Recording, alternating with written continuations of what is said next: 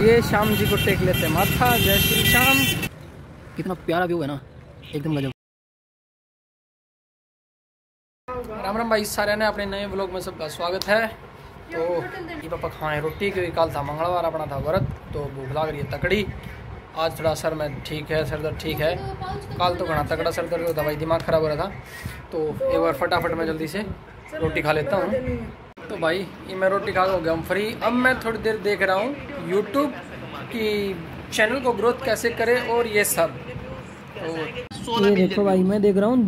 अगर हर महीने बीस हज़ार रूपए देती रहे क्या बुरा है?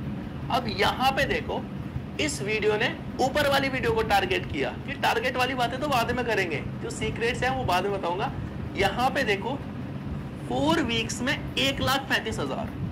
अब आप में से बहुत सारे बंदे ऐसे होंगे कि क्या हम इन टॉपिक्स पर वीडियो बनाएँगे? यार, ये क्या टॉपिक है? इंस्टाग्राम तुम अब वीडियो देख के हो गया हूँ फ्री क्योंकि वीडियो तो पूरी देखी नहीं मैंने, क्योंकि जुन्नू भाई की वीडियो बहुत बड़ी थी तो 45-50 मिनट की वीडियो तो मैंने पूरी वीडियो नहीं देखी है, क्योंकि मैं थक गया हूँ तो इसीलिए मैं उठ गया हूँ।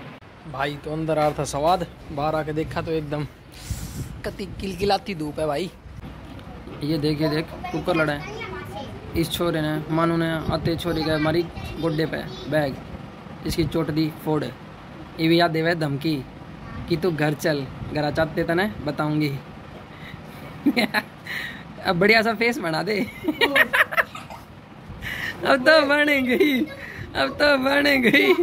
डाकू साहब, दिखाओ जल्दी से अपना फेस दिखा दे। अरे ना ना ना, देख, बुक फट जाएगी ना। बुक फट जाएगी, छोड़। हाँ हाँ वो देख वो देख, मानो देख। स्पेशल उसकी चोट छेड़ रहा है। अरे छोड़ दो, ना ना, शरे नहीं। तो बैठ जाओ आराम से। लो, मैंने बंद कर दिया सब, बंद कर दिया मैंने। हट जाओ आराम से, बैठ जाओ तुम। पढ़ लो, तुम बस। तो भाई, अब हम चलते हैं उल्टी तालाब। देखते हैं, कैसा लग रहा है। अब ये पहुँच गए हम बरसी गेट। तो ये शाम जी को टेक लेते हैं माथा, जय श्री श्याम। और अब चलते हैं हम आगे की ओर। चेन चौक से होते हुए हम पहुँच गए हैं भाई, बस एक मिनट में। गणपति बप्पा, और यार गणपति महोत्सव चल रहा है तो सब जगह गणपति गणपति जी की चर्चा है। और ये फाइनली हम पहुँच गए भाई हमकी तालाब कुछ ऐसा है यहाँ का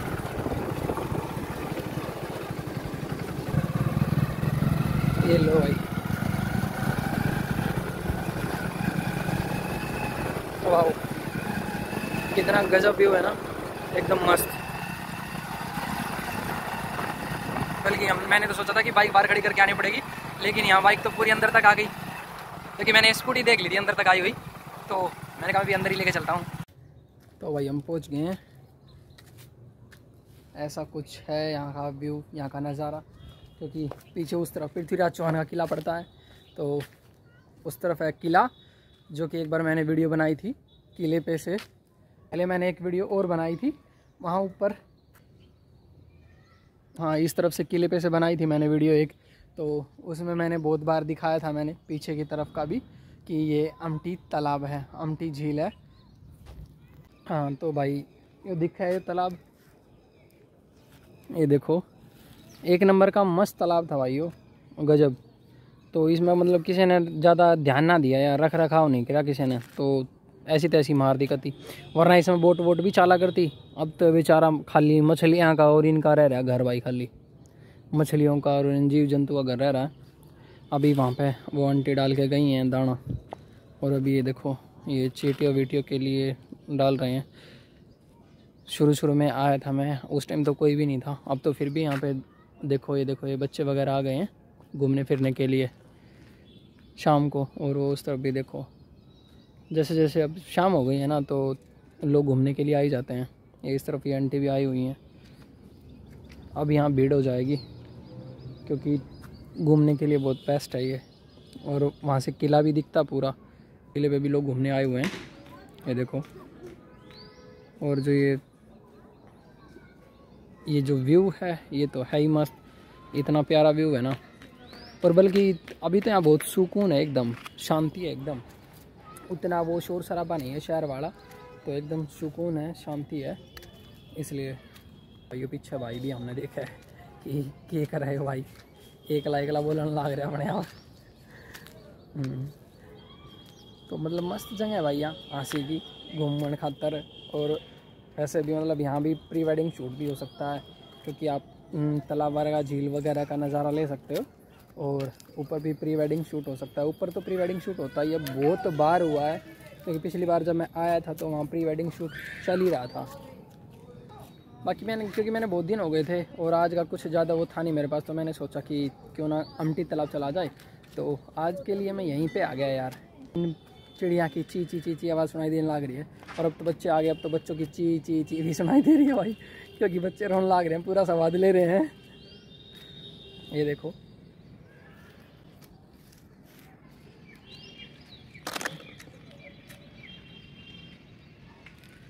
उस तरफ़ खेल रहे हैं बच्चे खूब सारे।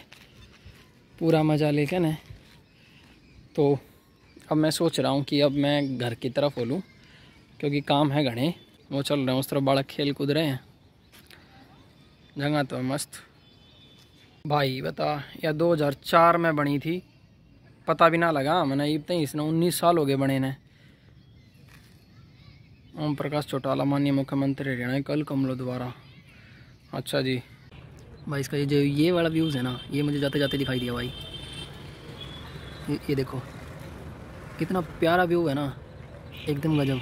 ऊपर से जब ये पक्षी उड़ रहे हैं ना, ये देखो। आए हाय हाय, एकदम सुकून है भाई यहाँ। ज़बरदस्त। ये ये वीडियो मैं जाते जाते शूट कर रहा हूँ, क्योंकि मैंने एक दो फ़ोटो भी लिए हैं ऐसे। यस भाई तो अमटी तालाब से वापस आते टाइम हम आ गए थे मार्केट में। मार्केट से क्योंकि हमने सामान लेना था, ये हमने थोड़ा किराने का सामान और ये सब्ज़ी हमने ले लिया, सामान थोड़ा ले लिया। तो सब्ज़ी मंडी से बाहर निकले थे तो मम्मी और भाभी मिल गए तो अभी वो हैं मार्केट में।